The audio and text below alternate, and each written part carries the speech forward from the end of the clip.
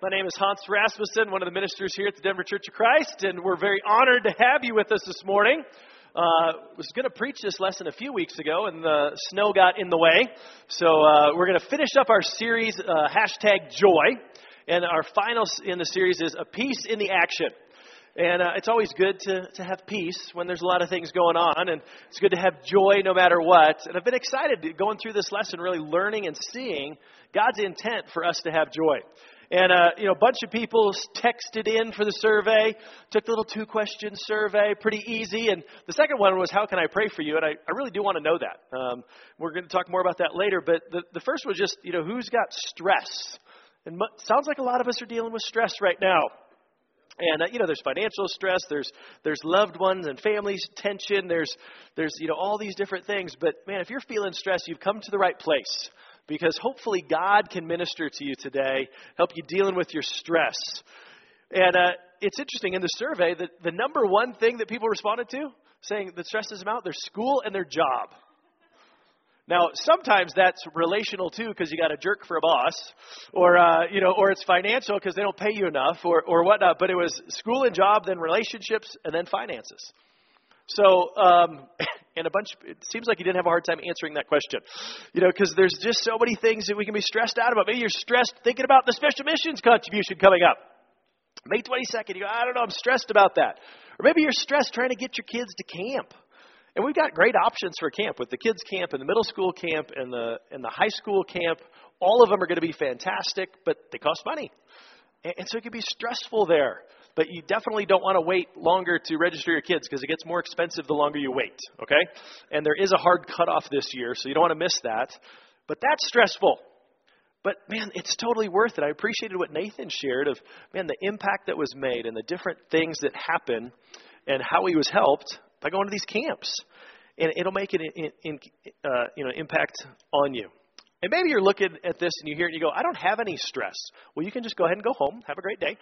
But uh, but if you are feeling stress, let's look a little bit here together uh, in review, and we're going to dig into this this last one here. Because we looked at kind of chapter one was this joy in suffering.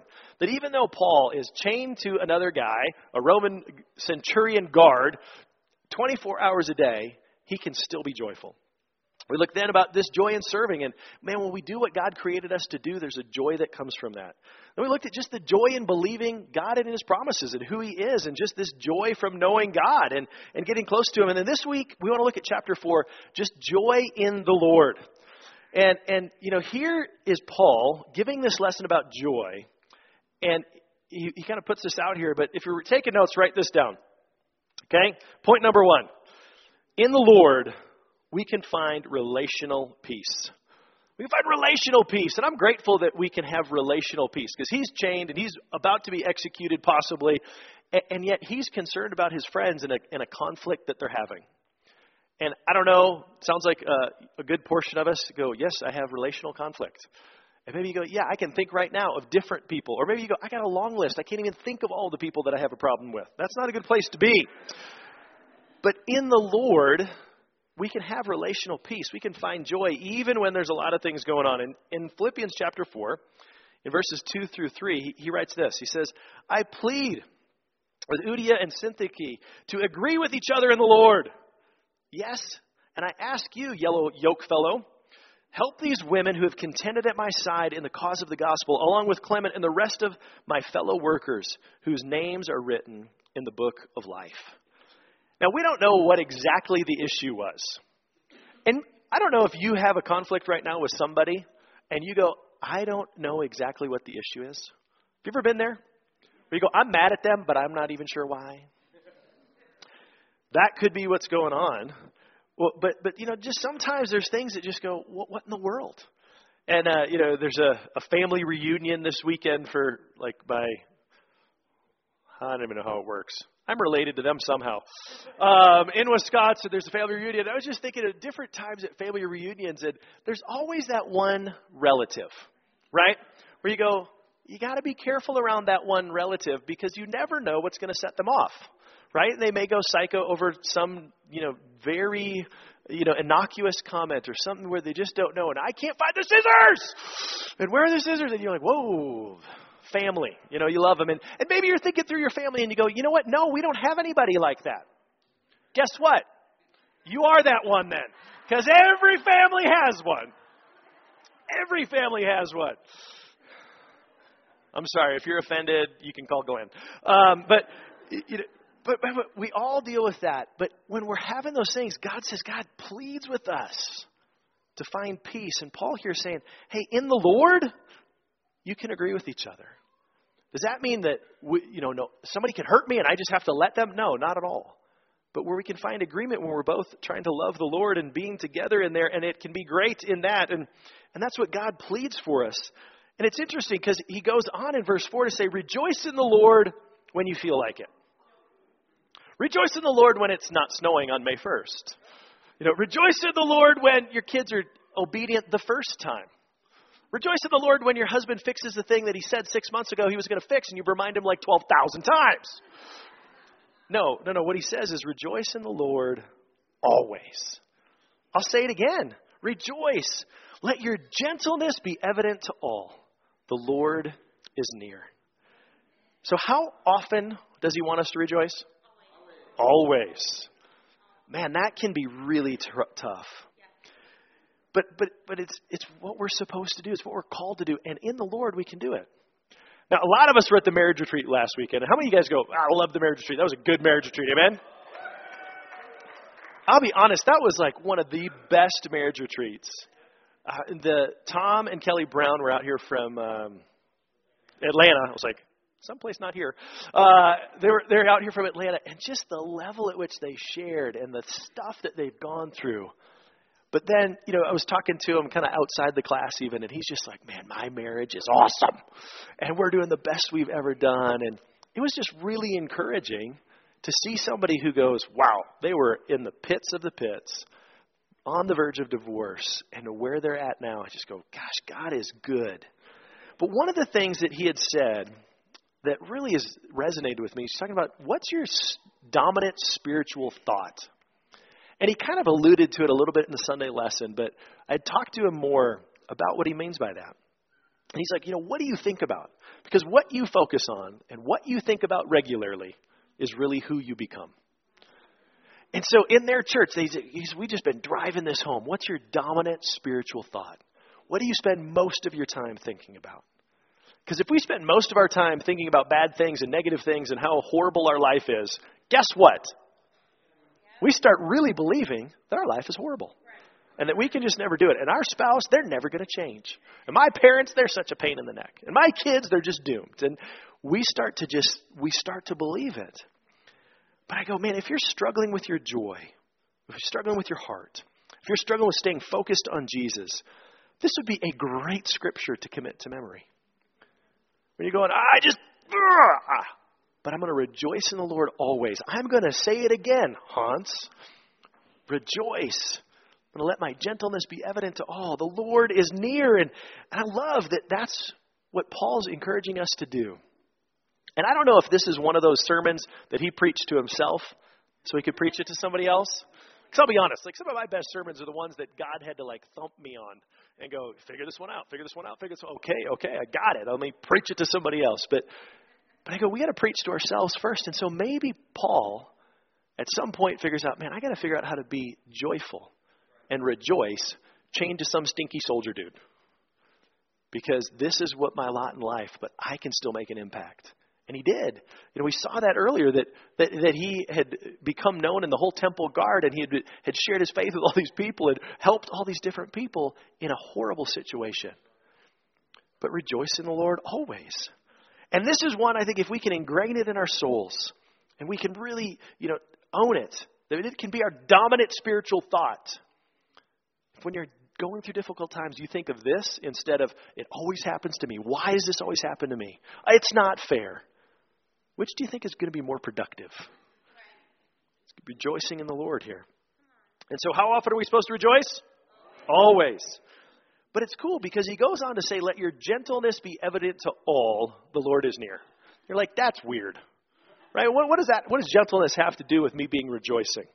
Well, it's interesting because if you look at the Greek in this, um, the, the Greek word for, for uh, gentle, uh, gentleness right here is epieikes.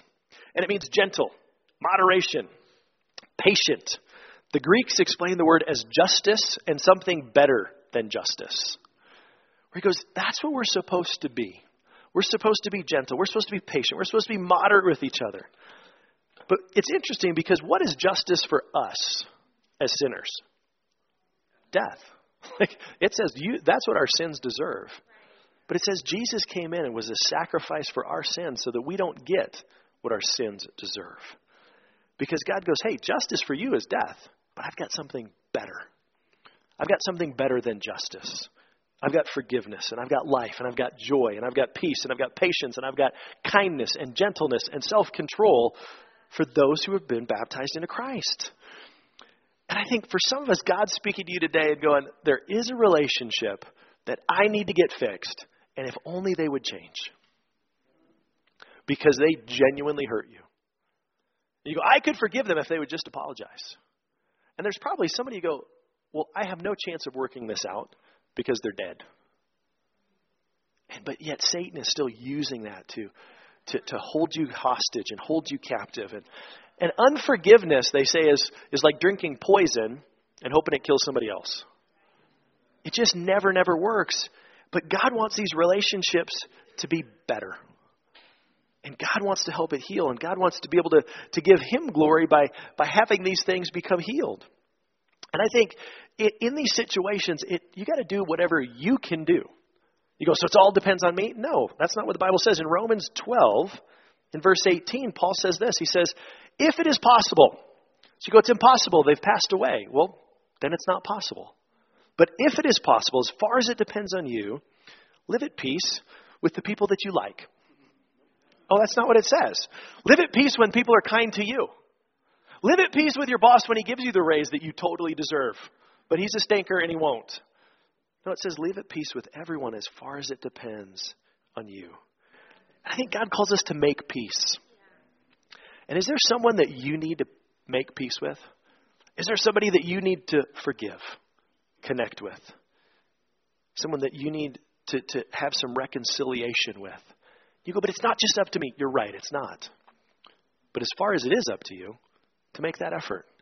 Because there's nothing that will steal your joy more than unforgiveness and some conflict in there. So the second point is this. And if you're taking notes, write it down. In the Lord, we find inward peace. So in the Lord, we can find relational peace, point one. But point two, in the Lord, we can find inward peace. And inward peace is not the jumping up and down, woohoo, something awesome happened. Right? My team picked the right player. Woohoo! Well, the next NFL draft, you're going to have, you know, another woohoo or up and down and kind of thing. But see, God wants our joy to be an inward joy and an inward peace. Not just, oh, I'm fired up and I can make a show of it. Paul's waiting to be executed. And what does he say? It is thinking amazing to me what he says in verse 6. He says, Don't be anxious about anything, but in everything, by prayer and petition, with thanksgiving, present your requests to God.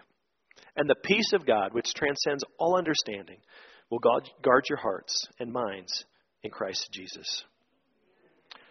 Because that's what he wants. But so often, we can take this scripture and kind of flip, flip it the other way, right? We can worry about everything instead of giving joy and, and rejoicing in all these things. We, I mean, there's so much stuff to worry about, right? We can look and go, well, I'm worried about my hairline recession.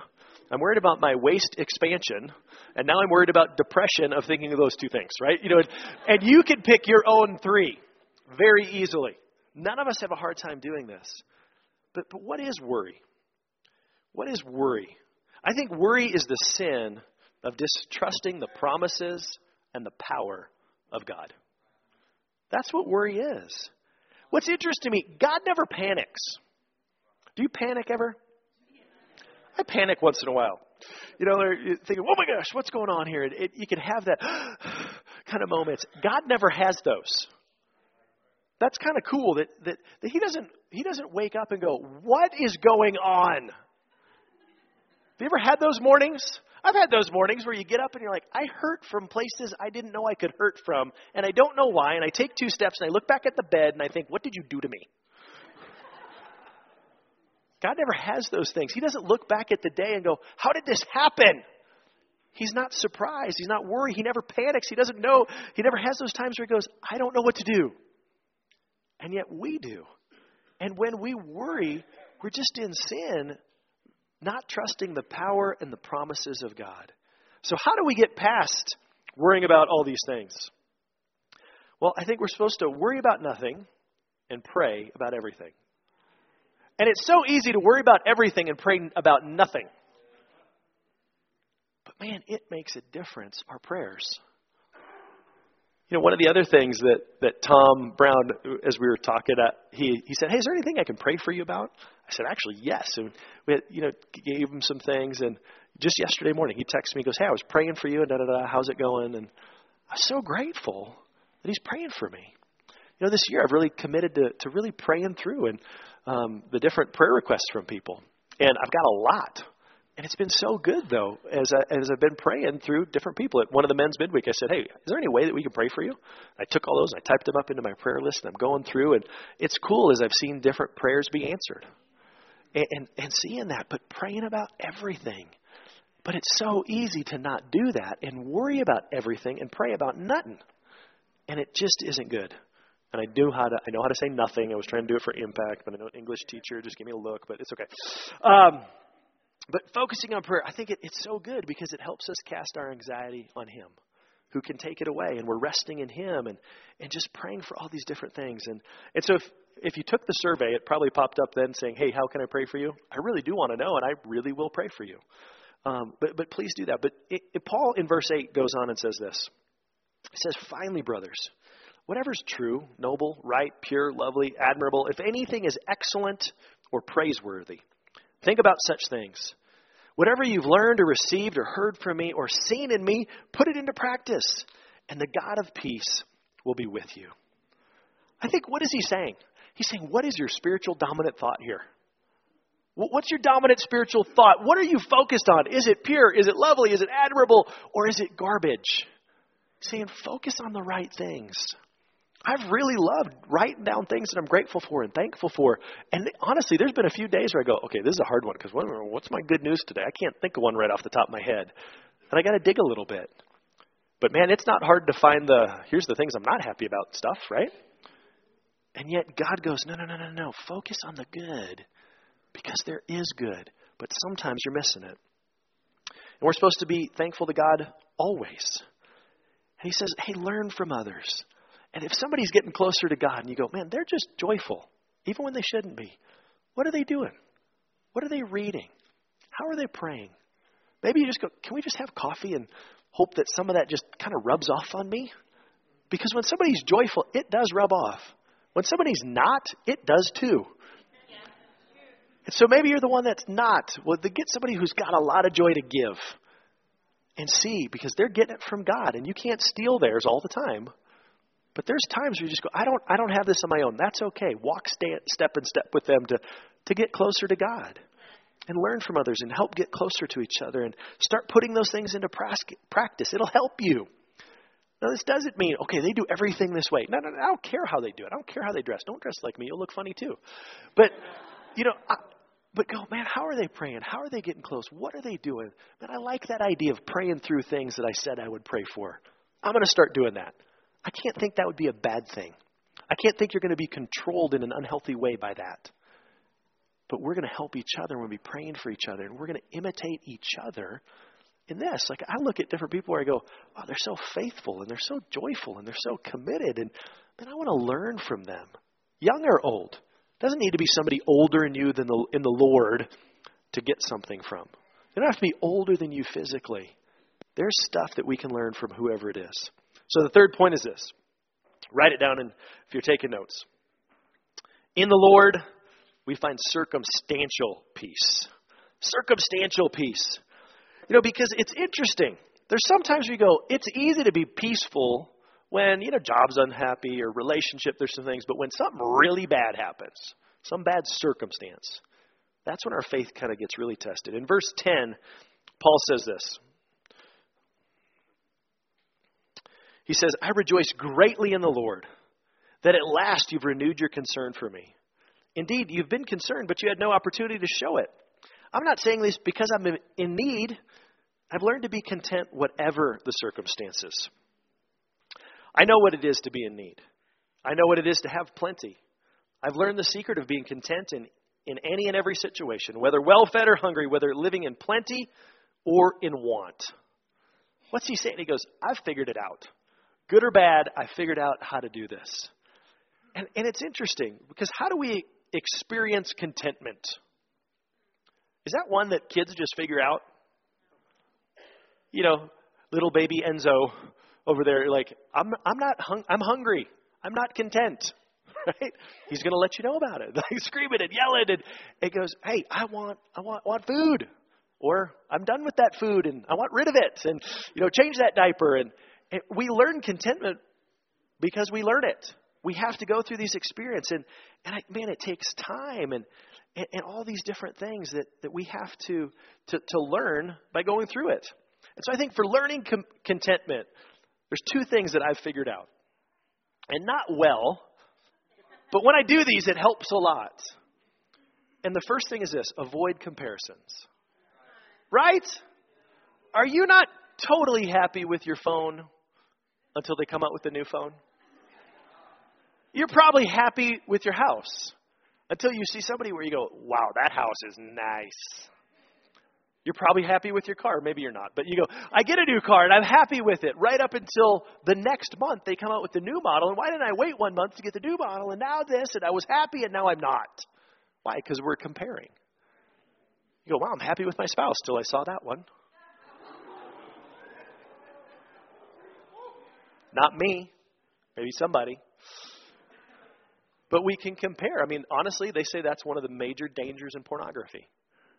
They did this whole test, and they, they took men and women and set, had them uh, rate their spouse uh, before they'd looked at pornography and then after.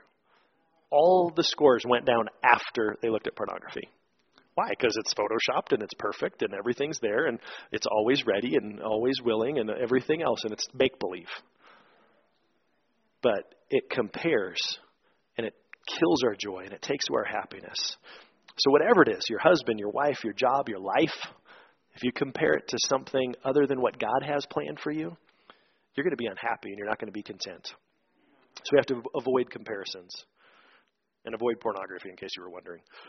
Um, then we have to cultivate gratefulness. Man, if you want to compare yourself to something, go to the third world and see how our brothers and sisters live. And they are so happy. Man, I remember visiting the, the hospital in Cambodia. And then afterwards, one of the brothers in the church just took me around to do these house visits with AIDS patients who can't make it into the hospital or, or don't need to be in the hospital with where they're at at their treatment.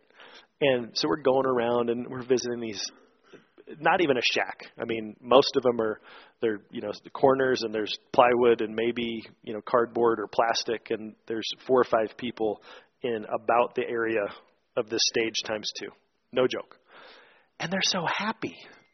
And this brother who's going around serving them is so happy. And I asked him, how, how often do you do this? And his English wasn't great, and so he's trying to think, and he goes, um, you know, maybe maybe 10 or 12 hours. And I'm thinking a month. I'm like, wow, that's great that you're able to do this. I go, so you do that like every month, like 10 or 12 hours? He goes, oh, no, no, like 10 or 12 hours a week. And he works and he helps lead the singles. And he goes, I, I just want to give. And he, I mean, I saw where he lives and I go, good grief. Not much better. So if we want to compare ourselves to somebody, we got to compare ourselves to those people who've learned contentment and love and serving and the cool part is, is that's what we're helping support. Helping support those churches there in Southeast Asia who are doing amazing work and, and, and, and meeting the needs and, and really helping. And I think that's what God wants us to do. You know, we can have a lot and be discontent. And you know what? Because discontent discontentment makes rich people poor, but contentment makes poor people rich. You go, I don't have a lot. Well, in contentment, you can be rich. Because we can look at these different things and we go, you can have all kinds of things and not be content with it. or you can have nothing and be content. You know, it's interesting. I, I heard a story of this this rich man who was just feeling, you know, overwhelmed, and all these things were going on in his life, and he was just looking for peace. And so he, he looks to have this picture drawn. And he said, You know, I want it to be this winter scene, and there's a cabin there, and all the wind is blowing, and it's howling, and it's dark, and it's cold, and, and it just seems miserable. The guy goes, Okay. And how is this going to bring, bring you peace? He says, but, but through the window, can you just put a little fireplace in there with just a gentle glow? Because even if the storms are whirling and, and, and life is coming at you faster than you know how to handle, God says, hey, in me you can have shelter and warmth and peace and joy. There's so many things that can bring us down. The, the circumstances can be horrible, and, and unfortunately, we can't change circumstances. Well, this happened to me, and I didn't do anything to deserve it. Paul's in prison. Didn't do anything to deserve it except sharing his faith, preaching the gospel of Jesus. But if we change our perspective and learn to have peace no matter what, even when bad things are happening. I think that's what God intends for us. Philippians 4:13 says, "I can do all this through him who gives me strength." So he's going on talking about contentment. You go, "How do you do that?" We can't. But Paul knew the only way for him to do it is that through Jesus Christ. I can do all things through him who gives me strength. I can be content and be at peace and relationally and inwardly and circumstantially. And we can walk down this path that God has, has called you down. You can do it. You can succeed at making Jesus Lord of your life. You can succeed at being restored to God. And you can even be joyful. Maybe even if your child is going through this dark road and going down the right path. Or you can be holy at school in this world of compromise and sin. And it says you can do all this through trying really, really hard and never making mistakes. No, it says through Jesus Christ. Can do all this through through working myself sick. No, it says through Jesus Christ. You can do all this through through through making your parents happy. No, only through Jesus Christ. You can do all this through membership in the right church. Unfortunately, no. It's only through Jesus Christ. I can do this through giving a lot of money on special missions on May 22nd. No, it's only through Jesus Christ. I can do all this through sending your kids to camp. That won't work either, but it'll help. But it's only through Jesus Christ because maybe that's where they're going to connect for the first time, either for second grade or all the way through high school and connect in something. And so I can do all this through, you know, coming to church on Sunday or being a better person or giving more or serving more or being more or doing more. And Paul says, no. The only way that you can do this, the only way that you can be content, the only way that you can be joyful in all situations, be joyful no matter what, is through Jesus Christ, our Lord and Savior. There's no way that we can have true joy and true peace except through Jesus Christ. And if you haven't made Jesus Christ Lord of your life, you do not know what you're missing. You go, well, it's hard and I have to give up all these kind of things. All of that is garbage. It is rubbish. We looked at that a few weeks ago compared to the peace that we can have and the joy that we can have and rejoicing in all situations. You know, so if you haven't sat down and looked to see what the scriptures say about how to do that, man, the person that, that invited you today, maybe you, you come for a few times, you go, I don't know anybody. Well, find somebody who looks happy and joyful and say, Can you help me with that? And if they can't, they'll find somebody who can. And if you can't find anybody else, come talk to me. But people seem to be scared of me for some reason. I don't know. But man, we'd love to sit down with you and help you see through the scriptures what God has in store for you, how He wants you to, to be there and have that joy relationally, inwardly, and circumstantially. And if you invited somebody, you ought to just ask them because they're waiting for you to ask, anyways. But there's no experience needed. You go, I don't know if I know enough to do that. You do because you're here and it'll work. You go, well, I don't even speak English that well. Well, that's okay too. We've got Spanish speakers that'll help you and whatever whatever you need. And and just all you need is a little bit of time and just ask them about it. Open up so that you can see what God has in store for you. See, God wants us to have peace in all the action of life. You go, it's overwhelming, but God has that peace, that shelter in the storm that warmth that only comes from, from a joy that overflows in, in all the areas of our life. And that joy only comes from knowing Jesus. Why don't we stand up? We're going to sing one more song. And we'll see you next Sunday for Mother's Day. And uh, God bless.